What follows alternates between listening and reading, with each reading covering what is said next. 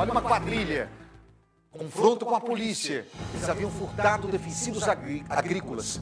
Um suspeito foi baleado na ação. Evandro Mandadori, conta tudo pra gente. A Polícia Militar conseguiu frustrar um roubo que estava acontecendo durante essa madrugada na cidade de Quinta do Sol, que pertence à região de Engenheiro Beltrão.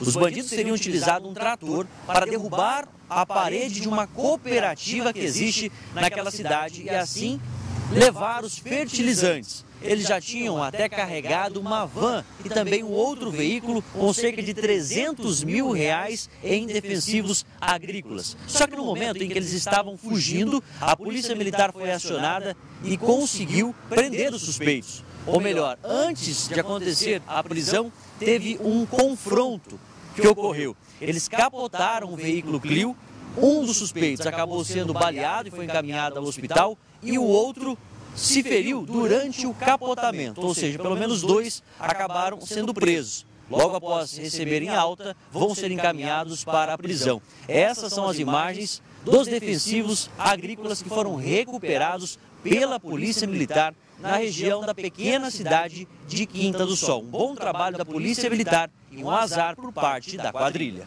Tá certo, Evandro, obrigado pelas informações. Fica aí posicionado que eu já quero saber de outra perseguição que aconteceu. Mas antes, Evandro, deixa eu dar um recado rapidinho, vem comigo.